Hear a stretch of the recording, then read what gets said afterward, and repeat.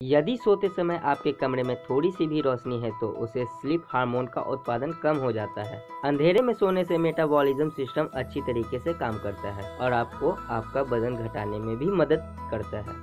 इसलिए हमेशा अंधेरे में ही सोना चाहिए। दोस्तों, क्या इससे पहले आपको यह फैक्ट पता था? हमें कमेंट करके ज़रूर बताएँ। वीडियो अच्छी लगी तो लाइक कीजिए चैनल को सब्सक्राइब करके बेल आइकन को दबा दीजिए, ताकि मैं आप लोगों के लिए ऐसी वीडियो लाता रहूँ। धन्यवाद।